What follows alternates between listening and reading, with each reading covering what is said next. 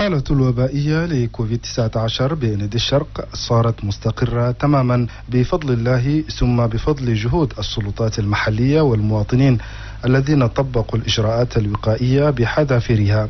هذه حصيلة اللجنة الفرعية للسلامة الصحية بإنيد الشرق.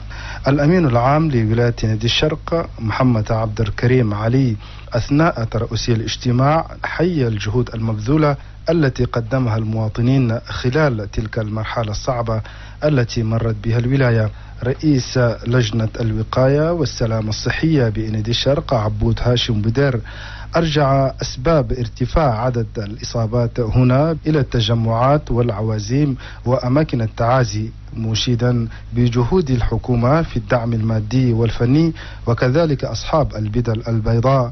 من جانبه المندوب الصحي لولاية نيد الشرق دكتور رمتباج جسناء قدم حصيلة الحالة الوبائية لشهر ديسمبر ويناير والتي أكدت ارتفاع عدد الإصابات إلى 76 إصابة شفيت جميعها دون تسجيل أي وفيات.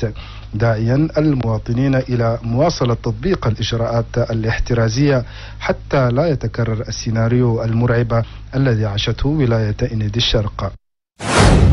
نوقف وفيات الأمهات وأطفالهن.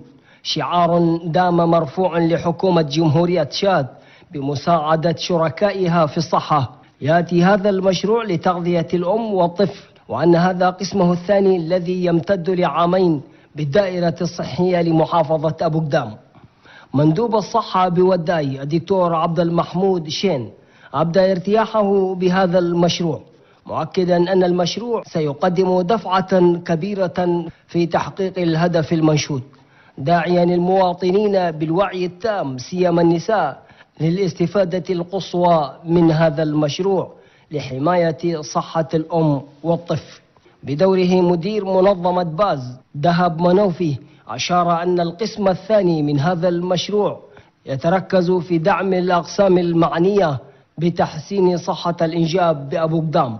وفي افتتاحه لهذا المشروع الأمين العام لولاية وداي محمود محمد صالح هيار نوه أن صحة الأم والطفل هي من أولويات الحكومة الشادية مضيفا أن هذا المشروع وغيره ما هو إلا تنفيذا لخطة الحكومة وأن هذا المشروع يستمر في الخدمة لمدة عامين بتكلفة مالية بلغت أكثر من 30 مليون فرنك سيفا.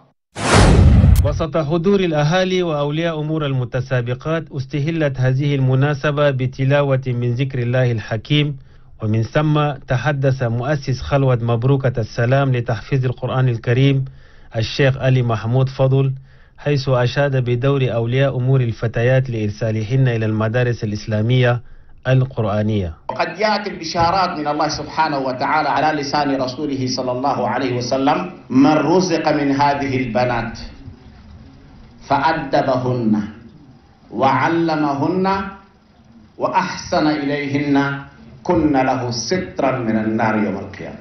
نائب رئيس المجلس العالى للشؤون الإسلامية الشيخ عبد الدائم عبد الله عثمان أثنى على جهود الجهة المعنية والتي ساهمت في تأسيس هذه الخلوة المباركة ودورها من أجل خدمة أبناء المسلمين. القرآن الكريم هو كلام الله سبحانه وتعالى. فالنبي صلى الله عليه وسلم يقول خيركم من تعلم القرآن وعلمه. وللإشارة فإن هذه الاحتفالية التكريمية جاءت بعد مسابقة لإحدى عشرة طالبة في حفظ كتاب الله وتم اختبارهن في ثلاثة أجزاء من القرآن الكريم برواية عاصم وتويت المناسبة بتوزيع شهادات تقديرية للمتسابقات.